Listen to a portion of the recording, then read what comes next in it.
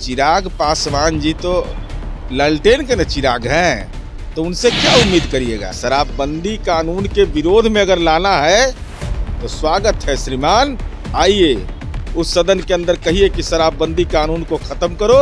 मार्च के सत्र में बिहार की जनता को भी एहसास हो जाएगा कि शराबबंदी के प्रति इनका नज़रिया क्या है।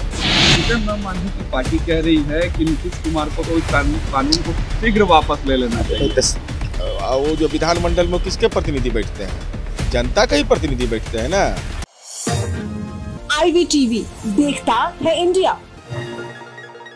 बिहार में शराबबंदी पर भाजपा और जेडीयू आमने सामने है और अब बिहार सरकार इस पर कुछ संशोधन करने जा रही है। किस तरीके से आप लोग देख रहे हैं? बिहार में पूर्ण शराबबंदी है। जनता का समर्थन ह्यूमन चेन के रूप में।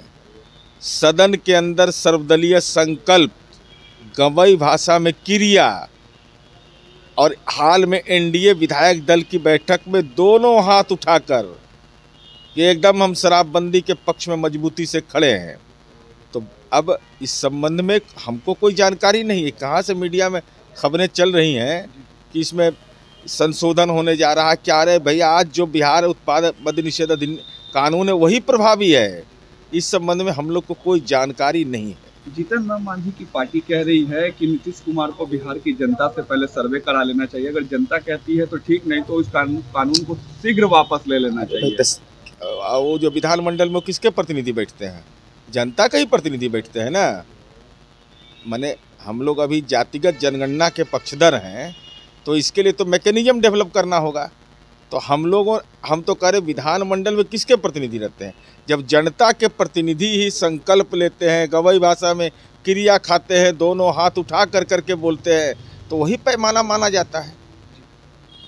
आरजेडी कह रही है कि हम इस पर अविश्वास प्रस्ताव लाएँगे आने वाले सत्र में क्या कहिएगा आरजेडी किस अविश्वास प्रस्ताव किस संदर्भ में लाएँगे? शराबबंदी कानून को लेकर। मैंने शराब शराबबंदी कानून के विरोध में। वीरेंद्र ने भी कहा शराबबंदी कानून के विरोध में अगर लाना है तो स्वागत है श्रीमान।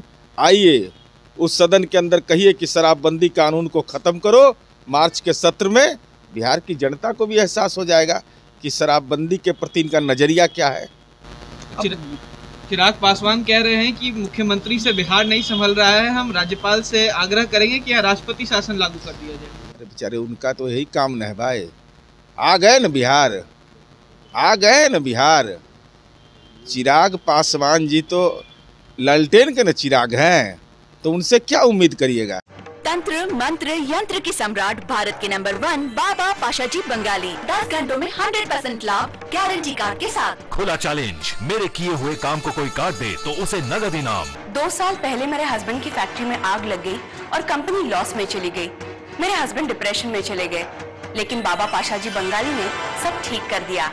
आज हमारी कंपनी भारत की नंबर वन एक्सपोर्ट कंपनी है। बिटिया की शादी के लिए जो भी रिश्ते आते वहीं कोई न कोई अड़चन आ जाती।